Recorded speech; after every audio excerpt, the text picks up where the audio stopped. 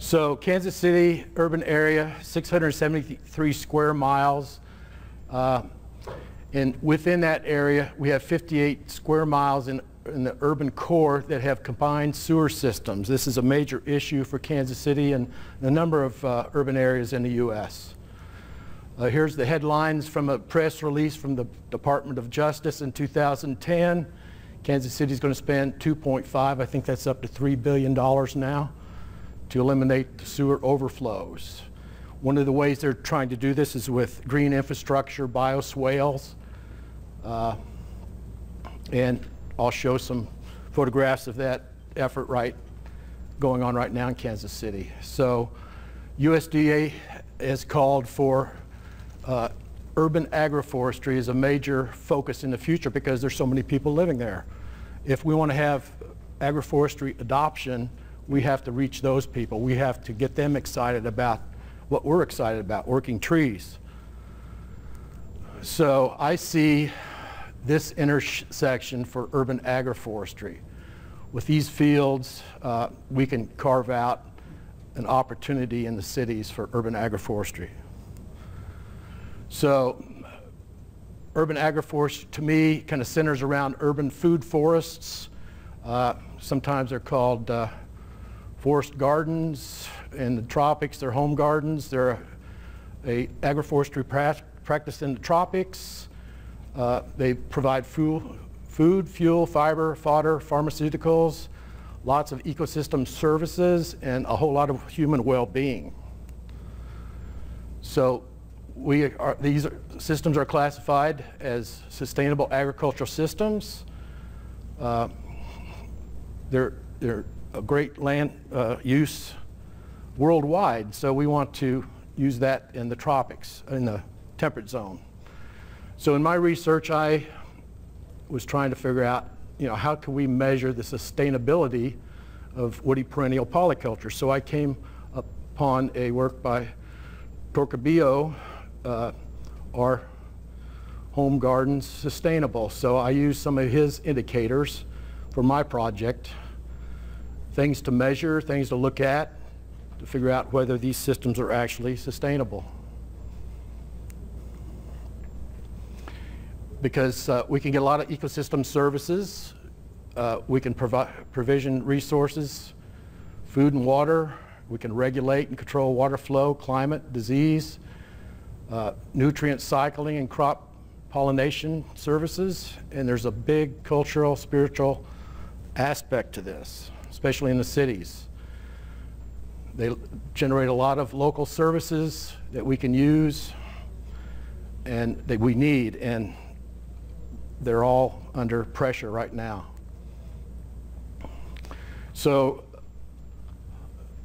these urban food systems are intentionally designed they use uh, uh, information that uh,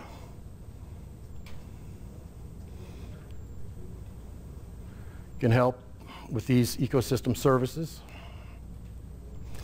The term urban food forest was coined by Clark and Nicholas in, a, in their 2013 paper uh, I would say that this is not forest farming because it's intentionally designed woody perennial polycultures and it's an important social economic system in the cities. People get really excited about this.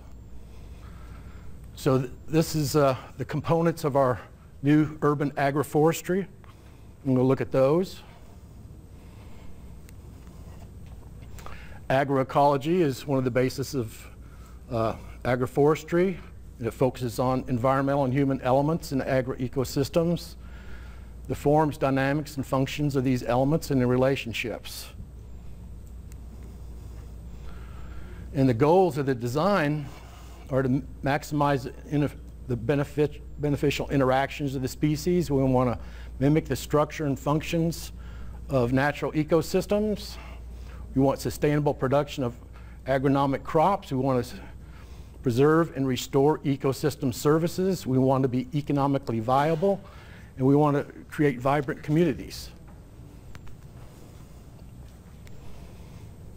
So agroforestry, we all pretty much know what that is. Intensive land-based management practices. They're intentionally managed, multi-level optimization, long-term planning. They're economically viable. You know, and we even have livestock in the city. I don't think people are fattening pigs on apples yet, but I see that happening. You know, agroforestry is a sustainable land use practice, and it uh, can, in the city, can have a large cultural ecosystem service benefit. Urban agri uh, agriculture is a growing field all over the nation. It's about having resilient local food systems. Organic no-till is being uh, taught by K-State Extension in Kansas City for the, or, the growers there. You know, we can have distributed production in all our yards. You know, if it hails over at my place, maybe it won't at yours. If I have squash bugs, maybe you don't. We want to use edible landscaping for its low ecological impact. If you look in the city, the biggest agricultural crop there is turf. And that turf is, you know, shedding 50% of the inputs into the Gulf of Mexico, so it's not a sustainable system. In Kansas City and, and other cities, we're working on food policy councils and coalitions. There's a food hub effort that comes out of that food policy coalition in Kansas City. And I'm going to talk about other hubs. We, we heard about the climate hub. I've got another hub I'm going to talk about. In Kansas City, we're blessed with the Kansas City Food Circle, started in the 80s to get organic growers together with eaters. And they put out a uh, handbook every year that connects those people. They have a uh, expo, two or 3,000 people attend in the spring to meet those farmers and sign up for CSAs and buy transplants for their gardens. Uh, we have a mobile market system in Kansas City, Beans and Greens. And there's, you know, this is what it's about right here. Women bring their kids to the farmer's market to get the first sweet potato to feed the baby. And they see the guy who grew it. So they, they, they're confident and they're happy. Local food's a big thing. It's growing annually. Kind of slowed down, it looks like. 43% of uh, U.S. organic foods are produce.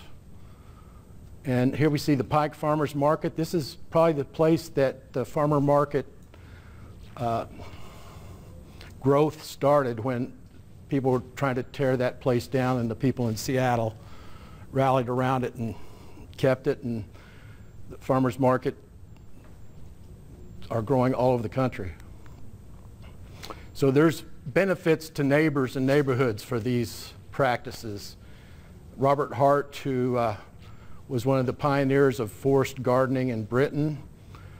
He thinks of the forest garden as a spiritual place. And gardening's decreased street, street crime, makes healthy food available when it's not, and it can help turn around a neighborhood.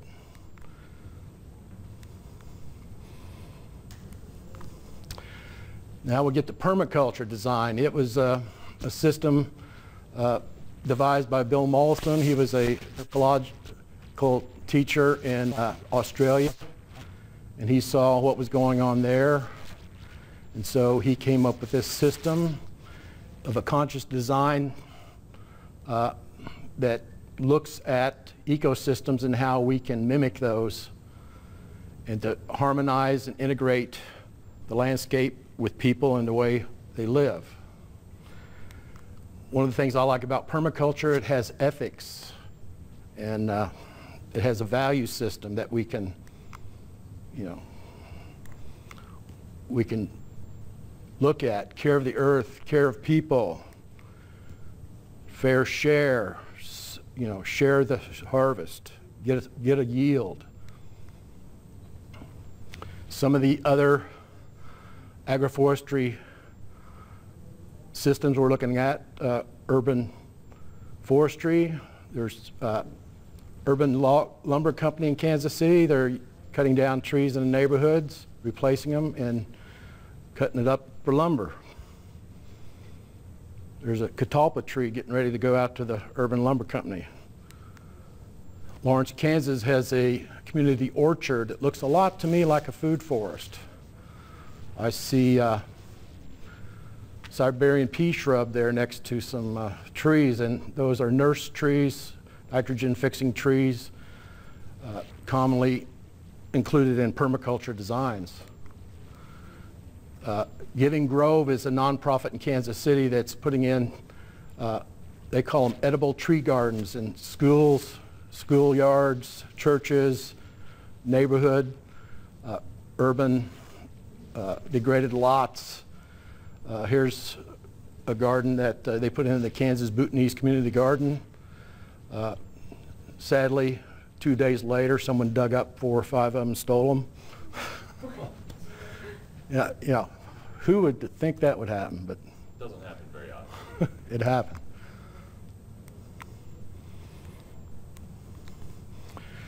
So here's some green infrastructure in the Center City Neighborhood Association was the first to put in this bioswale with uh, curb cuts. Uh, I was involved in planning out the species for this project. The lot behind it are two land bank lots that the association now controls and we're going to be putting a food forest on those lots at the end of June. Just coming up. Here's the design for that. This is a, a design will augment this rain garden. The water will flow across and these bermed beds will capture that water and keep it out of the sewer or the bioswale and let it soak in. The trees won't need as much uh, watering. There's no water on this lot and would have to be brought in.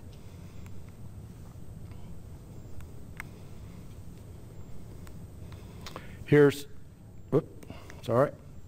Here's some of the green infrastructure that's coming online because of that uh, EPA suit with the city. Uh, the first ones they put in, they didn't put curb cuts because I think the engineers were afraid of what would happen. but they got a little bolder with these on Troost and uh, looks like it's ready to go. Uh, I've been out to Seattle to see the Beacon Food Forest out there. It's on the side of a city park that has an underground reservoir for the water department, so they have to be careful what they do there. Looks like they covered the whole ground with uh, coffee bean bags and mulch. So in Kansas City, we've used uh, degraded urban sites. This is one for the Somali Bantu Foundation Community Garden over at 3rd and New Jersey. It's right next to, next to Juniper Gardens is a housing development. Notorious for crime. Uh, Cultivate Kansas City has an office there. Last year, someone got shot right outside the door of the office and put a fright into the people working there. But this lot is next to Jersey Creek. Uh, this is what it looked like before we went, went on there. It cost about $6,000 to put these uh, terraces in there, back slope terraces. Uh, but the lots were donated, so it was a pretty good value, I think. Uh, we put in some native plantings in the riparian zone down at the bottom there by the trees, but a lot more work needs to be done there when we get some money. Uh, Missouri Organic in Kansas City uh, works with the city for brush drop-off. They grind it up, make great composts and mulches. They've kept, you know, last year 20,000 tons of waste out of the landfills. And this is great stuff. I use it all the time because it doesn't have any weed seeds in it.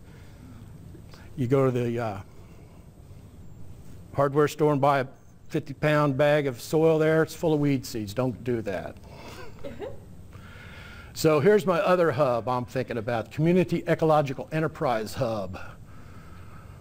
Uh, we uh, worked with some architects in Kansas City to come up with a greenhouse. It's uh, energy efficient. This is the design. Uh, ecological enterprises or businesses that uh, have ecological and social goals. And they could be a nonprofit or they may be profit driven. And I'd like to know what rootstock would work best, you know, with fruit trees and perennial polycultures. That's something I want to look at. So we want to look at the sustainability claims for temperate forest, food forest. They're claimed to be over yielding, sustainable food production systems, and low labor inputs over the long run. So I'm doing my research at the Cultivate Kansas City Food Forest. It was established in 2011. I'm investigating the sustainability indicators and getting baselines on a number of metrics. Here's what it looked like on establishment in 2011. Those are uh, infiltration swales there to, to hold water on site. This is what it looks like this year. It was a, quite a design process. This is a list of some of the plants there. Daniel Dermitzel, the Associate Director of Cultivate Kansas City, designed it, along with some other permaculture enthusiasts in Kansas City. Uh, did concept mapping, used Google SketchUp to look at the shade patterns so we know where to plant things. Here's another view of the food forest. Uh, we're going to get a great peach harvest this year. Aronias are really, really plentiful and uh, productive there. And uh, we already have some economic returns. Uh, since 2012, over $3,000 of sales. And Cultivate Kansas City's certified organic, so they get a premium for these products. Uh, we got our first chestnut last year. Uh, there's lots of permaculture, food forest research going on. This is one of the best sources right here of information, Permaculture Association. Uh, they are coordinating research all over the world on food forest work, forest gardens. So urban ecosystems are, can be more sustainable by using agroforestry practices and permaculture. You know, they can lessen the eco ecological footprint of urban areas and increase ecosystem services. They're a valuable ecocultural system that get people excited about their food in their neighborhood, growing things that are beautiful. They want to be in these sites. Some people call them paradise gardens. We need more research and we need more urban agroforesters on the ground at the Ecological Enterprise Center. Thank you.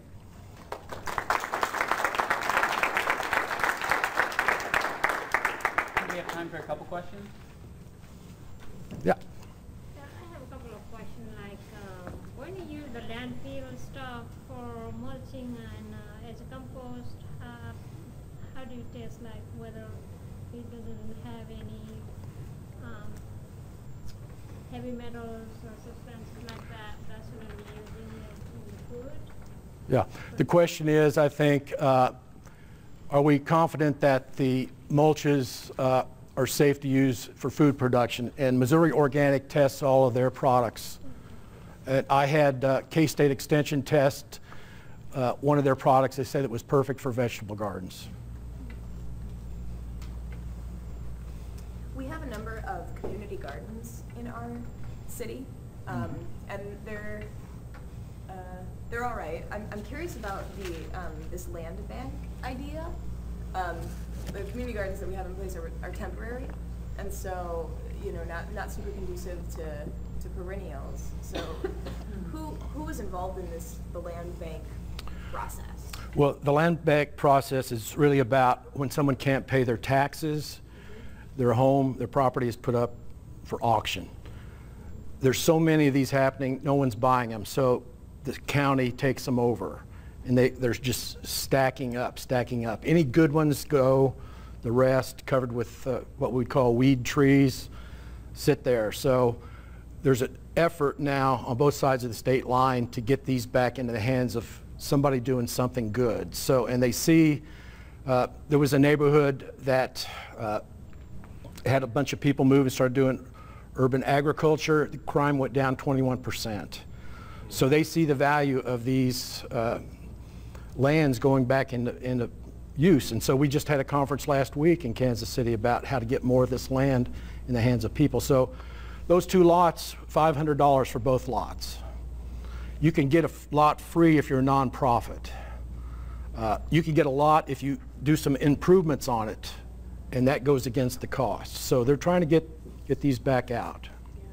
Was it the county board of supervisors that? Well, in Kansas City, the school district had something to do with that the county and the city. So that kind of made it uh, cumbersome. Now it's just one land bank authority. One more quick question. I have one. Oh, Yeah. sorry, somebody else. You beat me. Are you sure? Okay. You had, I'm Mine's, mine's short. Um, of the people you're working with, what language resonates the most with them? Because I saw that Venn diagram, you had urban forestry, urban agriculture, permaculture, and agroforestry. What kind of language are you using with those folks and what, what kind of resonates most with them? permaculture. Okay, cool. Permaculture is a popular, you know, idea.